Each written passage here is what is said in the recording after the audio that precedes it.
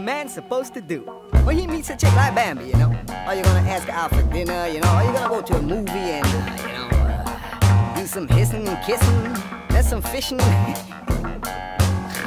well, uh, there's a slight chance that the chick ain't gonna dig that shit, brother.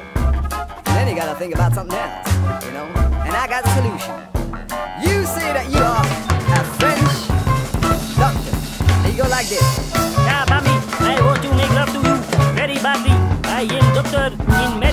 And I can cure you of all your diseases. Thank you. And then, maybe you're gonna have the opportunity to taste yourself a slice of heaven. Bambee heaven, Bambilicious, Bambillionaires, Bambee ketchup. Ah, you know what I'm saying. She might just be the best goddamn sauce you ever had in your french fries, brother.